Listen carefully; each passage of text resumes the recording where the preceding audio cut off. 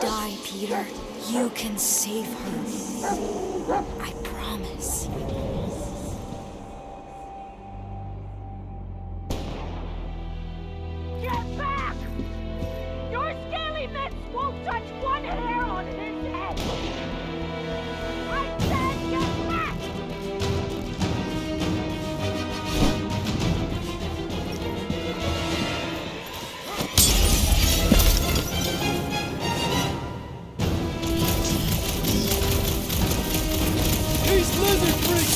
I!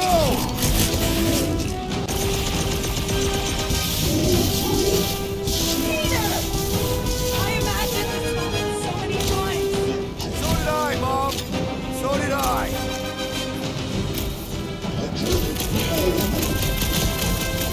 Not so easy this time, is it?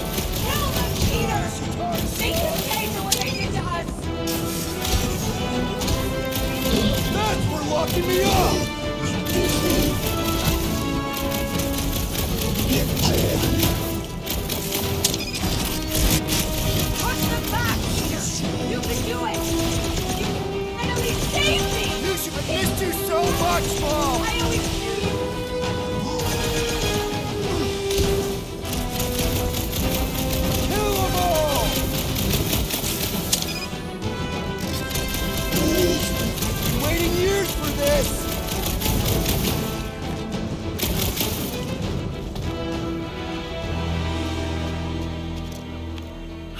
Peter!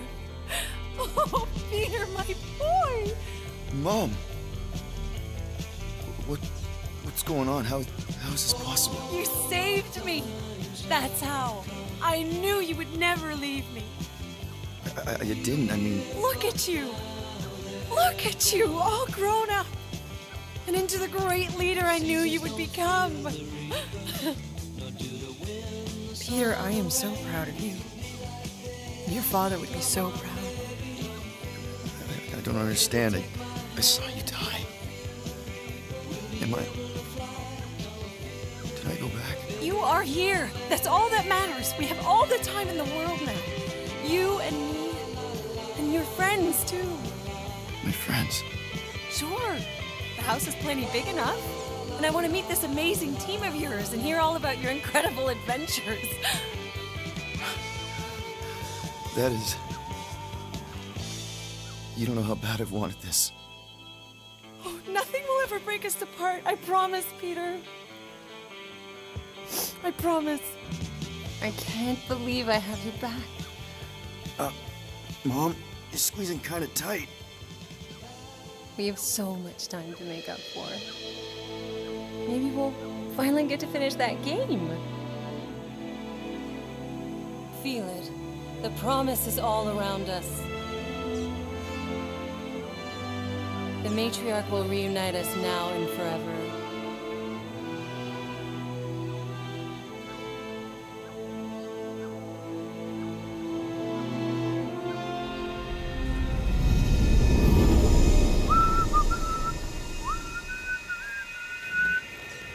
Plugs are like new, so that's not the problem.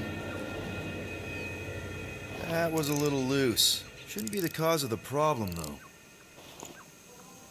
I guess that needs replacing. Hmm. Might need to top off the oil.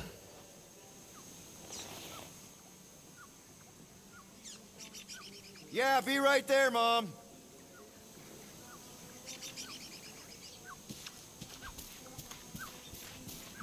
Meredith Quill, where do you keep your carving knives? Oh, there's one. All I see is a dull instrument fit for a child. That's the one. I will have to bring you a Catathian blade on our next visit. They can slice through solid steel. That's very generous, Drax. There you are, Peter. I was just about to come out and call you again.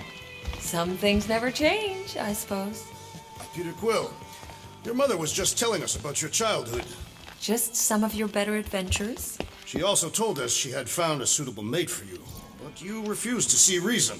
Drax, you said that would stay between us. Are you still pushing that Janie thing? She's a lovely girl, Peter, who's turned into an even lovelier young woman. She does sound pretty nice, Peter. Better than all the rest of them, for sure, Quill. All the rest of them? Your son is rather promiscuous, Meredith Quill. Dude, not cool. Sounds like we need to have a serious talk over dinner, Peter. Why do I feel like I'm about to get grounded? Hey, uh, Quill, can you do something about your mutt?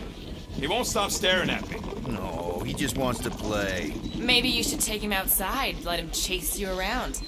Har har. You're just about as funny as this game is exciting. No, we can all. It's not the but you might appreciate it more after seeing it that. Would be an acceptable activity. Yeah, sounds fun, Mrs. Quill. Long as we leave the dog here. I still don't know why the hitter doesn't bring his bat with him around the bases. Or why they don't blow up when they run across, like mines, you know? Can't believe you still have this. Craft